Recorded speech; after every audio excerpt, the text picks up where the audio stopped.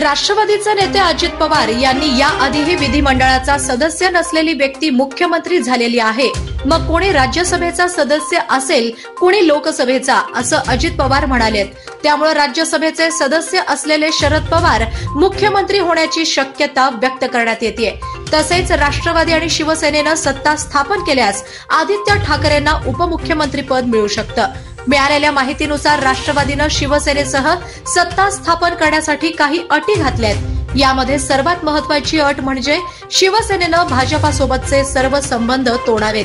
केंद्रात अवजड उद्योग मंत्रालय सांभाळणाऱ्या अरविंद सावंत यांना मंत्रिपदाचा राजीनामा द्यावा अशी माहिती राष्ट्रवादीच्या एका वरिष्ठ नेत्यानं नाव प्रसिद्ध न करण्याच्या अटीवर सांगितल्याचं वृत्त एका वृत्तवाहिनीनं प्रसिद्ध केलंय. दरम्यान शरद पवार यांच्या मुख्यमंत्री पदावरती भाष्य करताना राष्ट्रवादीचे प्रवक्ते उमेश पाटील यांनी भाष्य केलंय.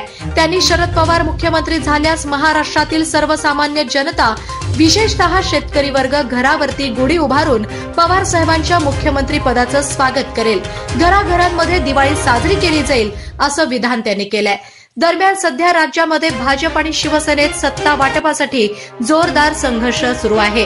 अशातच राष्ट्रवादीचे अध्यक्ष शरद पवार यांनी पक्षाच्या महत्त्वाच्या नेत्यांची बैठक बोलवली होती.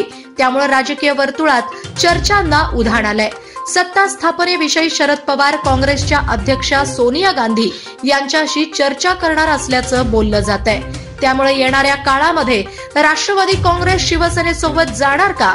राष्ट्रवादीची शिवसेनेसमोर जी अवजड अट आहे ही अट शिवसेना मान्य करणार का? आणि राज्यात कुणाचं सरकार स्थापन होईल याकडे साऱ्या राज्याचं लक्ष लागलंय.